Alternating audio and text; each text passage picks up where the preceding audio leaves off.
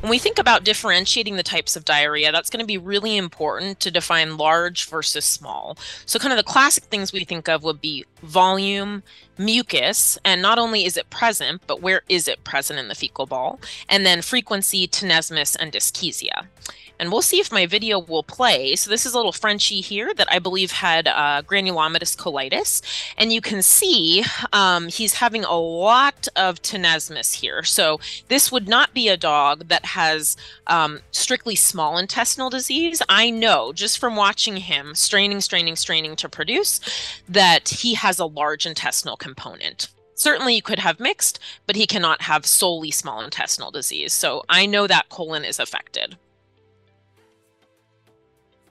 And then also thinking about general body condition score. So BCS, MCS also going to be really important. MCS is often one of the first kind of things to go, if you will, um, with some of these more chronic disorders. And so again, if we can score normal for our patients, we will be uh, more adept at detecting when things are going awry or starting to become abnormal, even prior to some of these other clinical signs um, starting to set in and prior to lab work changes. And then again, chronicity, weight loss, appetite, and then that term dysrexia, which is one of my favorite terms right now. This chart is really helpful. So this is from a review that um, Karin Allenspach did that was published in, I believe, 2015.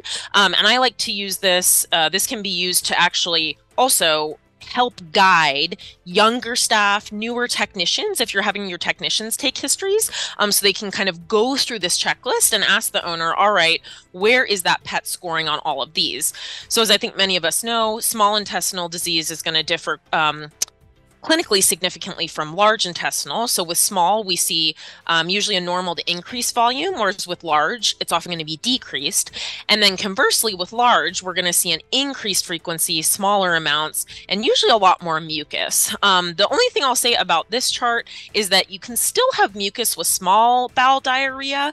Um, it's just usually going to be more mixed in the fecal ball, not coating the outside, which makes sense when you think about the fact that the colon has so many goblet cells lining it. Um, and that's the last exit point before the pet defecates. And then another thing I wanted to say about weight loss here, um, I don't want people to walk away from this thinking that no colonic disorders cause weight loss. That's absolutely not true. The exception will be granulomatous colitis. Um, and sorry, that should be GC, not CG. um, but you can definitely have uh, a large bowel diarrhea causing weight loss if it's granulomatous colitis or something like pythiosis. But typically, we only think of that with small bowel disease.